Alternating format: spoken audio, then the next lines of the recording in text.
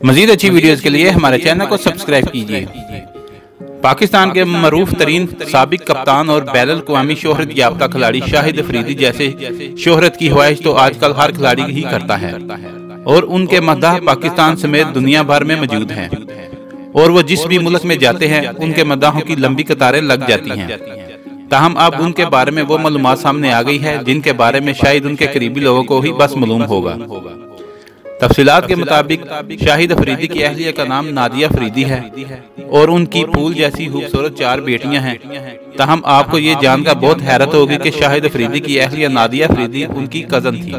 دوسری جانب وزیر اعظم عمران خان کی سابقہ اہلیہ ریحام خان آج کل اکثر سوشل میڈیا کے چرچوں میں رہتی ہیں۔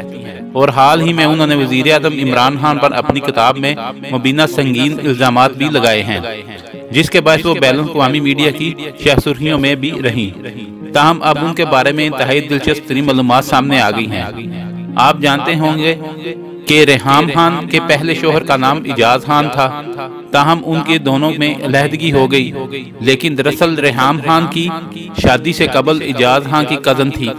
تاہم بعد ازا انہوں نے شادی کی لی دوسری جانب شہنشاہ قوال اور موسیقی کے بیتاج بادشاہ لیجنڈری استاد نصر فتح علی خان مرحوم بھی ان شخصیات کی فرست میں شامل ہیں، جنہوں نے اپنوں میں شادی کرنے کو ترجیح دی۔ اپنی بات سے لوگوں کے دلوں میں ہمیشہ کے لیے امر ہو جانے والے نصر فتح علی خان نے اپنے چچا کی پوتی کو جیون ساتھی بنایا۔